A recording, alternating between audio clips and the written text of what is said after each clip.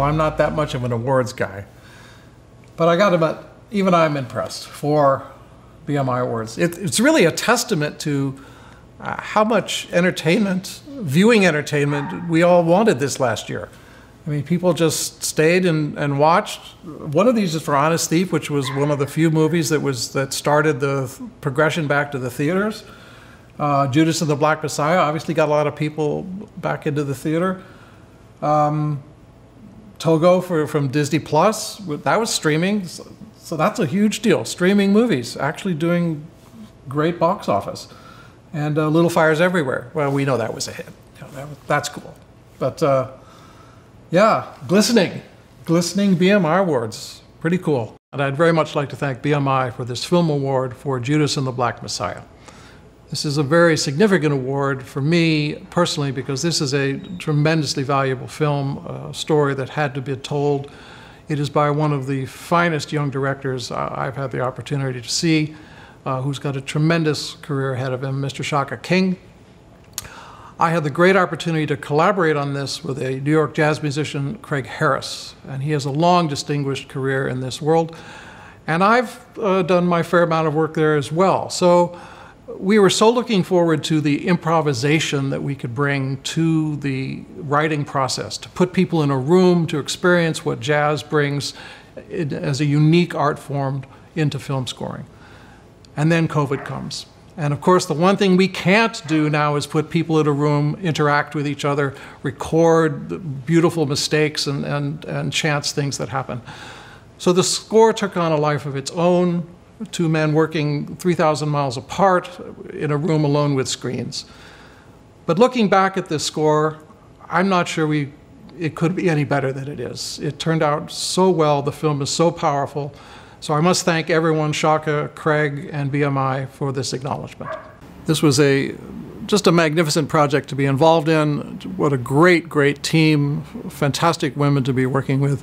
Uh, Mary Ramos, Dawn Soler. But uh, my composing partner on this was Isabella Summers, who is the machine. And it was just a treat to work with someone of such immense talent and to work with someone from a completely another musical universe than mine. And we hit it off tremendously well, and our two worlds came together, and I think we came up with some pretty unique stuff. You know, she she loves drums. She is, you know, the, the queen of rock production and she just loves drums. And she kept saying, "We're gonna have to use real drums, real drums, real drums." And let's face it, television we don't use real drums a lot, but we ended up using real drums, and it was just fantastic.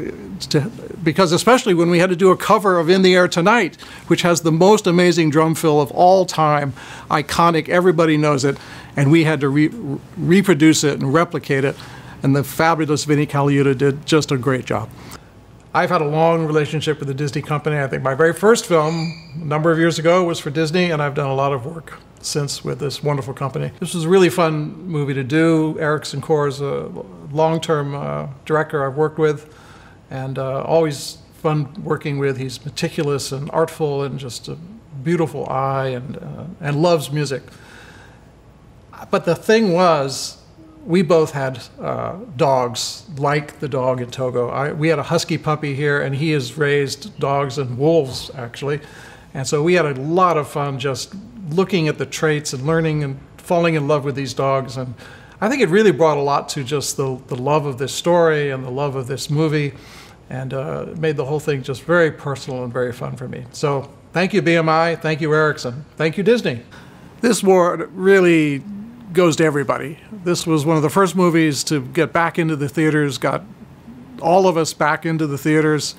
It uh, managed to hold on to number one position for a couple of weeks, and uh, it's really a testament to the, the spirit of the film industry and the spirit of the film audience and the theater going public that uh, we're not going to be. Uh, not going to be kept out of the theaters and kept out of uh, watching the movies we want to enjoy.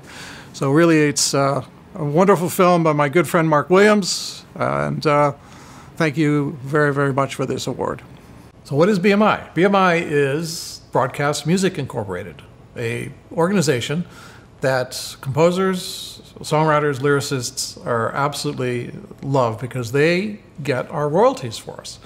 every time uh, a piece of music or a song is performed in various different places all over the world, we actually do get a royalty. Uh, because it's our intellectual property and it's being used for other purposes, and therefore we share in that.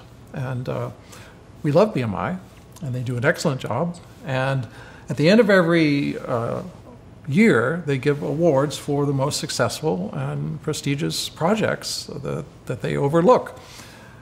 And well, this is a testament to how much people wanted entertainment in the last year. I've got four of them this time. Could not be more proud of all of these projects and to be a part of it and to uh, be on my record.